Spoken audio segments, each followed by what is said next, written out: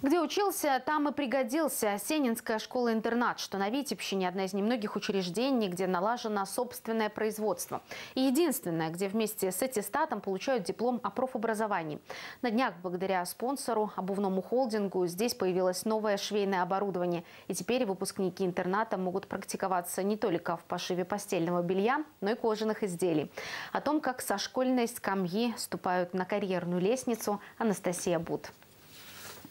За швейной машинкой для тяжелых тканей девочка с тяжелой судьбой. Таких называют сиротами при живых родителях. Мама дочери не интересуется лет 10, а девочка уже не ей, себе доказывает. Она может все. Например, научиться шить всего за год. В любом случае, уметь шить – это любой девушке, любой женщине всегда пригодится. Я думаю, что я буду поступать в университет, и вполне возможно, что свяжу свою жизнь с легкой промышленностью.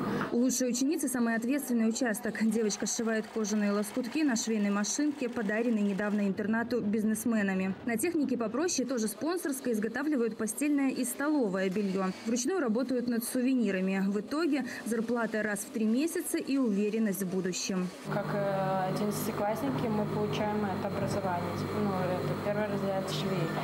И когда мы выходим, мы можем устроиться швеей и работать. Одна из выпускниц, которая живет в Витебске, она открыла свой маленький бизнес и изготавливает одежду на заказ. Получить профессию, не выходя из стен школы-интерната. Такое возможно только в СИНО. И потому большинство его выпускников связывают жизнь с легкой промышленностью. Они поступают и в Витебск, и в Оршу, предприятия легкой промышленности.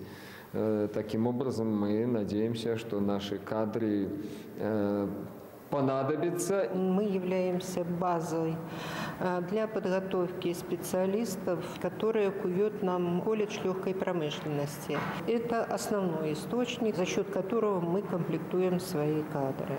Есть сироты среди этих детей, и уже много мы сирот э, приняли к себе. Вот она, многосторонняя польза, спонсорская помощь от бизнесменов, как инвестиции в будущих специалистов, в том числе и для собственного производства чтобы нелегкая жизнь легкой промышленности в кадрах не испытывала трудностей. Но главное – это вклад в образование детей со сложной судьбой. Ведь их жизнь вне школы только начинается. И пусть она после интерната будет гораздо легче, нежели до него. Анастасия Бут, Сергей Ковалкин, телекомпания СТВ, Витебская область.